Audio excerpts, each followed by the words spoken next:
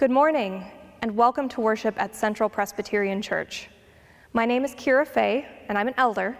I'm so glad to have you join us today. A couple of announcements. Next Sunday, March 21st, will be our first live stream worship service. So I wanted to take just a moment to explain what that means and what to expect. You might be wondering how to tune in. The simple answer is the same way you have for the last year. The live video will start at 10:30 a.m.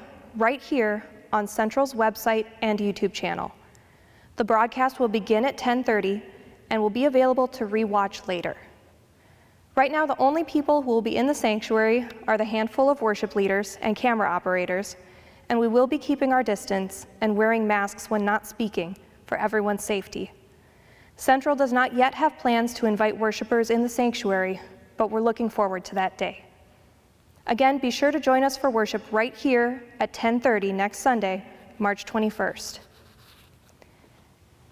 The annual meeting of the congregation and corporation of Central Presbyterian Church will be held on Sunday, March 28th via Zoom conferencing technology at 11:30 a.m.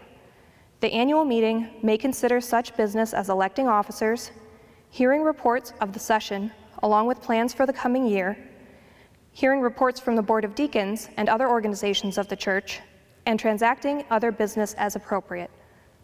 Church members are invited to log on beginning at 11:15 a.m. The meeting itself will begin promptly at 11:30 a.m. Again, that's March 28th. Now please join me in the call to worship.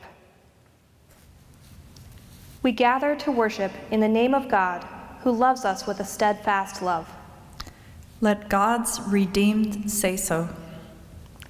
God loves us so much, we were given a Savior who came to us.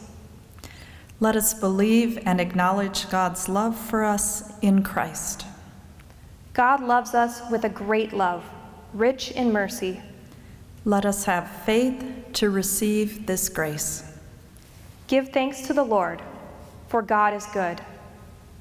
Let us pray. Holy God, we have gathered to worship in your name as an act of faith, believing that you are not only among us, but that you love us.